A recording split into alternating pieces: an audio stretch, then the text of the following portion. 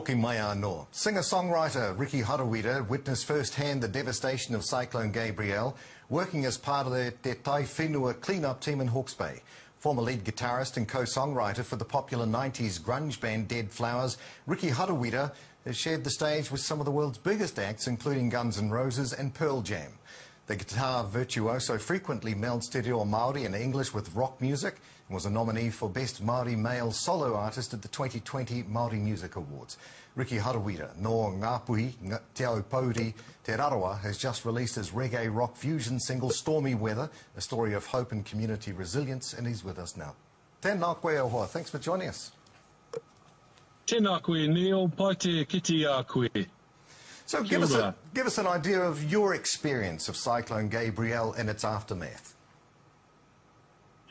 Well, I've been. Uh, this is my new uh, my new home in Te Matau-a-Māui, Hawke's Bay. I work here at Taiwhenua, and um, I was at home one evening, and um, and I we heard we heard the uh, broadcast about the impending uh, cyclone, and uh, it didn't affect me at home per se uh, up in Havelock there, but then when I came to work the next day, uh, we were called out to go to Omahu Marae uh, and other places out in the area which were um, completely devastated. Houses were actually completely destroyed, and a lot of our kaimahi had lost all their possessions and their and their livelihoods. Yes, so we were called out to assist the marae um, and some of the locals and some of the kura and get stuck in as a team. As Tai, taiwhenua, we're an Indigenous organisation, and what underpins our, our values is uh, uh, whakawhanaungatanga, uh, manaakitanga, our whakamana, kotahitanga, so unity. So, you know, we saw a lot of um, what was really pr- proud of down here is that the unity um, that I experienced firsthand. There were Pākehā coming into Marae helping. There were, in, you know, Indian uh, folk out there giving out, distributing food. A Maori help, helping Pākehā. Uh, everybody came together. Um, so the song is really about celebrating the resilience of our community, and but also acknowledging uh, the mamae and the loss oh. that we've experienced. Ricky, you're currently in Hawke's Bay. Is this this where you're going to be spending a lot of time? Is this where your new music is going to come from? Um, well, it is the wellspring of my soul at the moment. Uh, there's a lot going on here for me. I work in the community as a non-violence facilitator. So I work uh, primarily for Taiwhenua Heretaunga, and, I, and my, my job is to help men to learn how to resolve conflict in a respectful manner.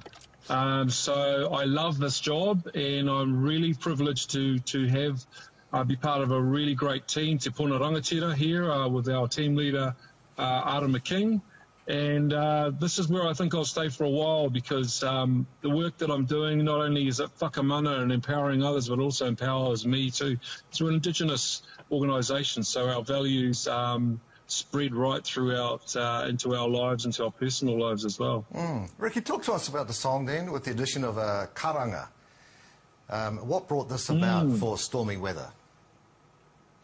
Well, you know, as you know, it's not my first rodeo. I've done a few songs before, and because I'm a kaupapa driven artist, um, a lot of my waiata uh, involve Te Ao Māori, principles and values of Te Ao Māori. And when you're approaching a subject like uh, this kaupapa, there's a lot of mamae. So there's a lot of tikanga, a lot of protocol that you have to follow. You can't just copy and paste people's pictures and, and the images of their houses and flood flooding and stuff. You have to go and see people directly. at the to whanaungatanga with them sure. with them, um, and of course organising the the musicians to participate because I couldn't do it on my own. Of course, I, I needed the the to hear the voice of Te Matau-a-Māui, and that was through one of our um, uh, karanga specialists here at um, Te Taiwhenua.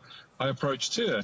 And uh, we went on a really great hiding together, her and I. She hadn't been in the studio before, and I really respected her craft. Yep. And she respected what I was doing, and we respected we were upholding the, the tikanga, not only the values of our of our organisation, but of the whole um, of the whole uh, rohe. Yeah, so, we, yes. we've got your song in just a moment, so uh, really appreciate taking the time to, to join us today, and all the best for your new single, Stormy Weather. I also like the wellspring of my soul. I might use that stage. Ngā, ngā mihi e hoa. Me koe hoki e hoa. Koe.